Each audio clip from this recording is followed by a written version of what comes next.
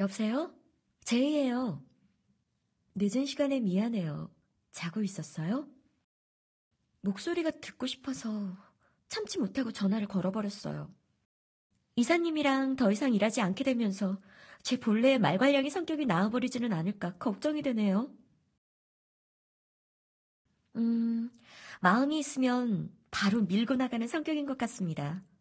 그리고 노력해서 반드시 이뤄내는 경우가 많죠.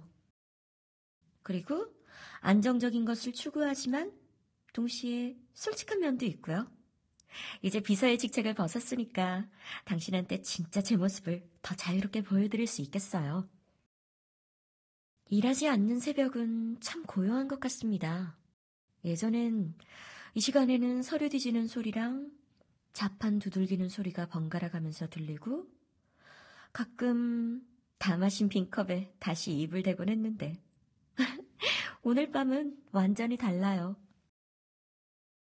밤의 공기를 느끼는 여유, 좋아하는 사람의 목소리, 미래에 대한 부푼 꿈.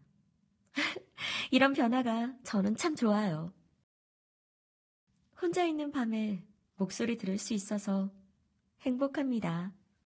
하, 역시 말해야겠어요. 좋아해요. 아주 많이요. 달콤한 로맨스 같은 좋아함은 아니더라도 이렇게 서로를 의식하며 존중하는 그런 예의 바른 좋아함이지만 정말 당신이 좋아요.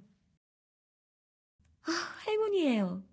당신이 절 선택했다는 것이 무척이나 감사합니다. 당신을 알게 될 수 있어서, 당신을 만날 수 있어서, 비록 전화기를 통해서지만 내가 당신한테 이렇게 존재할 수 있어서 신에게 감사해요. 이야기 들어줘서 고마워요.